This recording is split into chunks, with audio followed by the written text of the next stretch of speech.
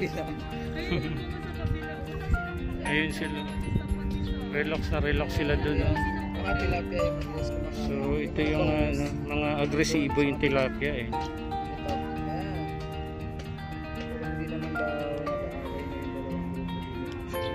French naman daw sila. Grabe ang dami eh.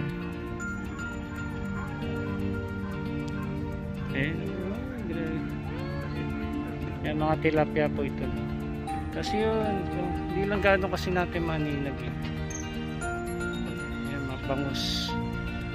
So more on bangus at ano, tilapia naririto. Ito mga bangus yung naririto.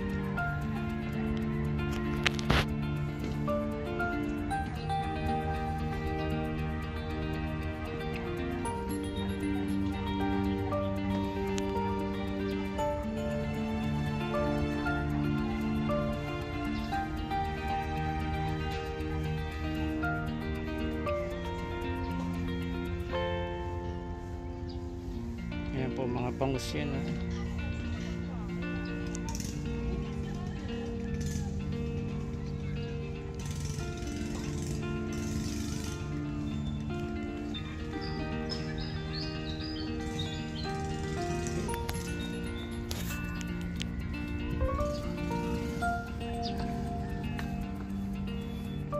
Ito naman mga tilapia. Yan.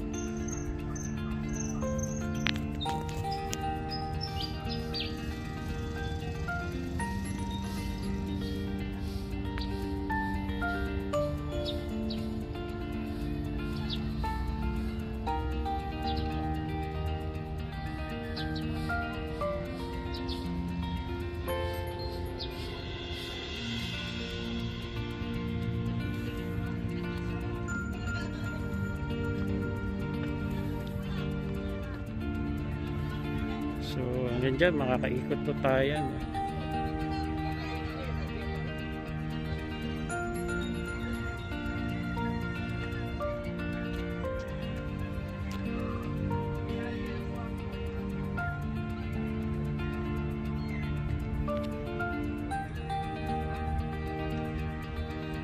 Okay, lakarin po natin ito mga kabayan.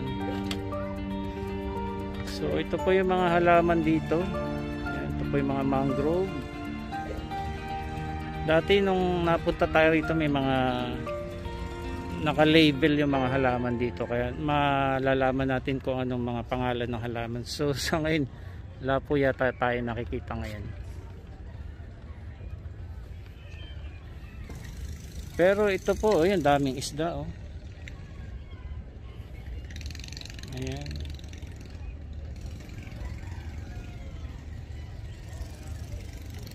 daming isda.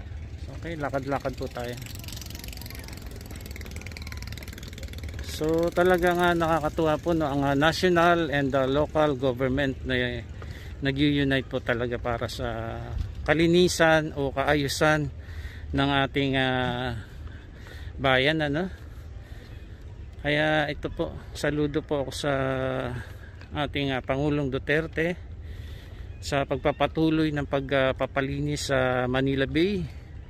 And sa ating pong uh, butihing Mayor Isko Moreno sa pakikiisa niya po sa ating uh, Pangulong uh, Duterte. Ayan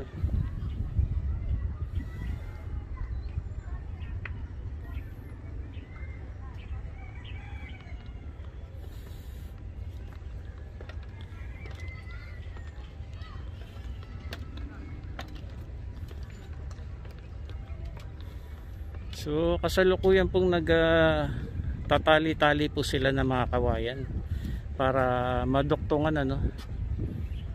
Kasi may paikot pa yan doon eh.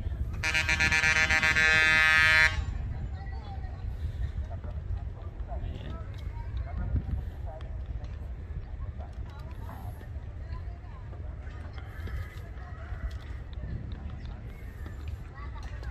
Yan, shout out din po sa ating uh, secretary ng DNR ah, na Secretary ah, Roy Simatu. Yan sa mga proyekto po dito po sa ating ah, bansa. Tulad po nito ng pagpapalinis ng Manila Bay. Paglalagay ng mga mangrove katulad po dito sa area ng Baseco. Ayan, and the local government ay nakikipagtulungan din po. Shout out din po kay Mayor Isko Moreno.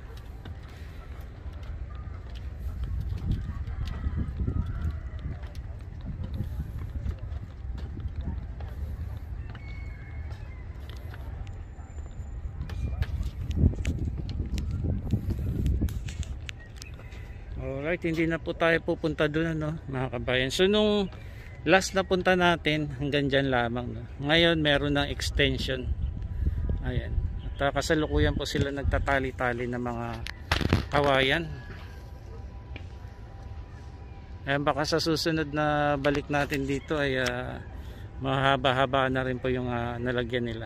Ito po yung boardwalk na tinatawag dito po sa mangrove area.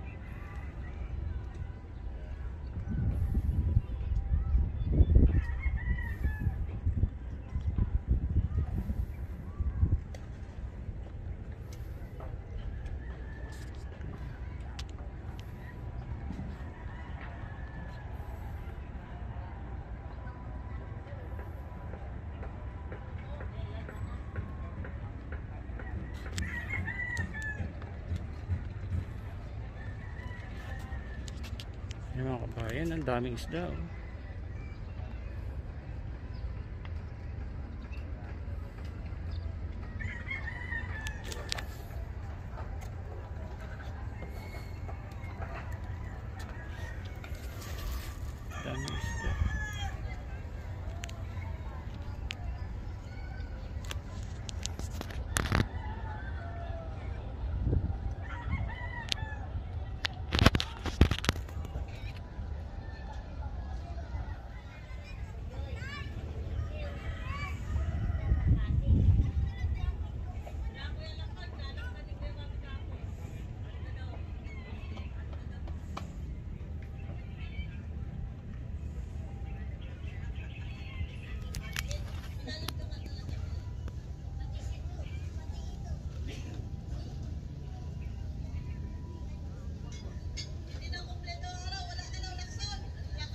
Ang dami pong isda mga kabayan ano.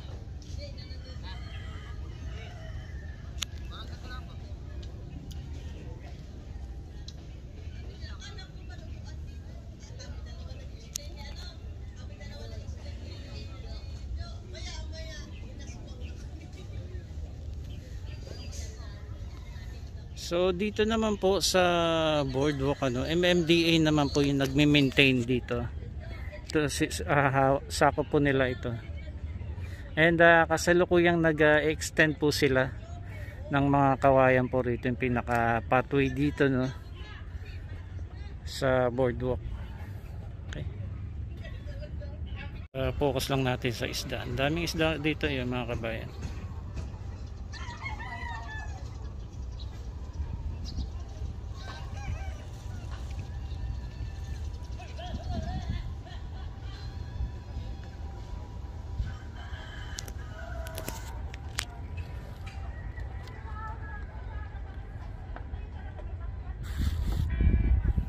dami eh.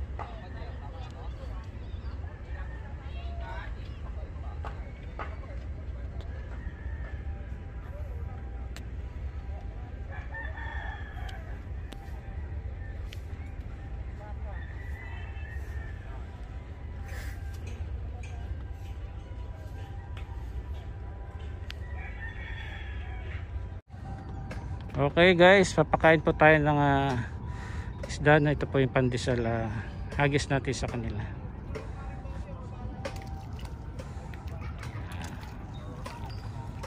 So ayun na po. Pera na nga doon.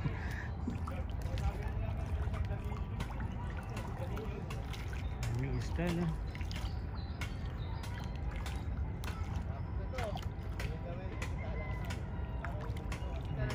Marahil di lang po ganong aninag sa cellphone natin pero kung naririto po kayo talaga ma-amaze din kayo sa dami po ng ah, mga isda na naririto ngayon.